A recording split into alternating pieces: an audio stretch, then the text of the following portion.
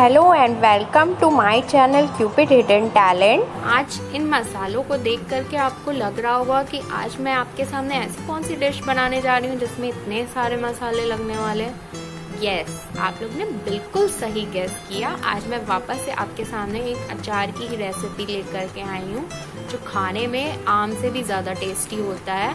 या यूँ कह लें, छोटा पैकेट बड़ा धमाका होता है। देखने में तो बहुत छोटा होता है वो, लेकिन खाने में वो आम से भी ज़्यादा खट्टा और टेस्टी होता है।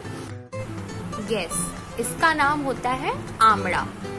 मैं इसके बारे में आपको ये बता दूँ कि मैंने इसे मॉर्निंग में कट करके, अच्छे से धो करके, धूप में इसे एक दिन के लिए सुखा लिया था। और ताकि इसके अंदर का जो पानी है वो एकदम खत्म हो जाए। अगर इसमें ज़रा सा भी पानी रहेगा तो वो हमारा अचार फिर लॉन्ग टाइम के लिए नहीं रह पाएगा और वो खराब हो जाएगा। ठीक है? तो मैं आपको इसे एकदम नज़दीक से करके दिखाती हूँ। देखिए, इसके साइड की जो स्किन है वो पूरी तरह से सॉफ्ट हो गई है। एकदम तो नहीं सॉफ्ट होती, लेकिन हाँ इतना है कि ड्राई आमड़ा और जो ताज़ा आमड़ा काटते हैं, वो आमड़े में थोड़ा सा फ़र्क हो जाता है। उसकी स्किन में थोड़ा सा नरमपन आ जाता है। जिससे ये पता चलता है कि उसके अंदर का पानी अब पूरी तरह से ख़त्म हो गया है। वो अचार बनाने के लिए अब रेडी हो गया है। अब मसालों के बारे में जान लेते हैं। मसाले में मैं एज यूजल नमक का सबसे ज़्यादा यूज़ करूँगी, जो कि अचार को लॉन्ग टाइम के लिए, टिकाने के लिए बहुत ज़रूरी होता है। इस वजह से मैंने लगभग, देख रहे हैं क्वांटिटी में लगभग लिया होगा मैंने 50 ग्राम नमक है। हल्दी, लगभग 25 ग्राम ली है मैंने। मंगरेल को जैसे मैंने पिछले वीडियो में बताया था कि आप इसे पीस करके मत यूज़ करिएगा। इसे आप ऐसे ही खड़ा ही डालिएगा और अच्छे से इसको तवे पे या किसी चीज़ में रोस्ट कर लीजिएगा। कुछ भी डाल करके रोस्ट नहीं करना है, ऐसे सूखा ही आपको इसे भूनना है। इसको भूनने का तरीका ये है कि इसकी हल्की सी स्मेल आने लगती है मंगरेल की तो इसका मतलब है कि वो अच्छे से भुन गया है। लहसुन का पेस्ट इसे बिना पानी डाले मैंने पीसा है। चाहे तो आप इसे सिलबट्टे पे पीस सकते हैं और चाहे आप तो इसे मिक्सर ग्राइंडर में भी पीस सकते हैं। लेकिन ये पूरी तरह से ऑप्शनल है। अगर आप इसे लाइक नहीं करते तो आप इसे ना डालिए, ठीक है? मिर्च पाउडर लगभग मैंने 30-40 ग्राम लिया है, क्योंकि मैं बहुत ज़्यादा तीखा नहीं पसंद करती, इस वजह से मैंने इसे थोड़ा कम ही लिया है। आप इसे अपने टेस्ट के अकॉर्डिंग बढ़ाया घटा भी सकते हैं।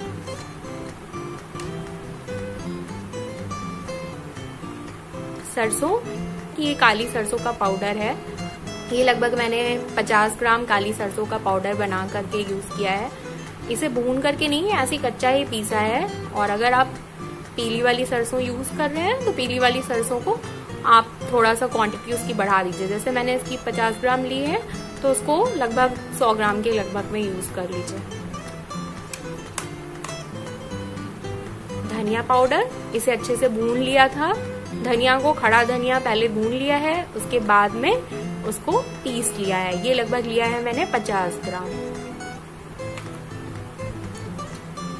जीरा, मेथी और जो मसाले वाली मोटी वाली सौंफ होती है ना उसको। तीनों को इक्वल पार्ट में लिया है और तीनों को ही अच्छे से पहले सूखा भून लिया है। उसके बाद में उसका पाउडर बना करके, लगभग इस पाउडर की क्वांटिटी मैं बताऊँ तो ये लगभग मैं 25 ग्राम यूज़ कर रही हूँ। इसका मतलब है कि आप लगभग 10-10 ग्राम के लगभग में अगर भूनते हैं तो वो आपका पाउडर लगभग 25 ग्राम या 30 ग्राम के लगभग में तैयार हो जाएगा। मस्टर्ड ऑयल लगभग ये 100 ग्राम के लगभग में मैं यूज़ कर रही हूँ। कच्चा है, इसे पकाना नहीं है, कच्चा ही यूज़ करेंगे हम। मैं लगभग दो किलो आमड़ा यूज़ कर रही हूँ। इसी वजह से मैंने सारे मसालों का जो मेज़रमेंट बताया है, वो उसी के हिसाब से बताया है। अगर आपके पास में कम क्वांटिटी में है आमड़ा तो आप मसाले फिर उसी के हिसाब से यूज़ करिएगा। तो अब हम इसमें सारे मसालों को मिक्स कर लेते हैं। इसका कोई सीक्वेंस नहीं है कि आपको हल्दी पहले डालना है या नमक पहले डालना है। आपको कुल मिलाकर के सारे इंग्रेडिएंट्स जो मैंने निकाल के रखे हैं उन सबको इसमें मिक्स करना है अच्छे से। मैंने जितना जो निकाला था सब हम इसमें डाल रहे हैं। इतना टेस्टी अचार बन करके ये रेडी होता है कि इस अचार को आप चाहे तो रोटी, पराठा, पूड़ी या दाल चावल या खिचड़ी या तहरी या कोई भी सिंपल या कॉम्प्लिकेटेड या किसी भी तरीके के डिश के साथ खाएँगे तो उसका स्वाद ये और बढ़ा देता है।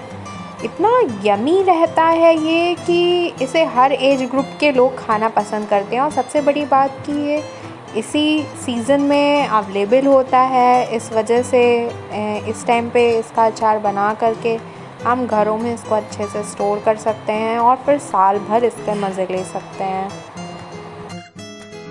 अब इसे अच्छे से साफ़ हाथों से मिक्स कर लेंगे। मैं हाथ से ज़्यादा कंफर्टेबल हूँ, इसलिए हाथ का यूज़ कर रही हूँ। आप चाहें तो किसी चम्मच का भी यूज़ कर सकते हैं इसे मिक्स करने के लिए।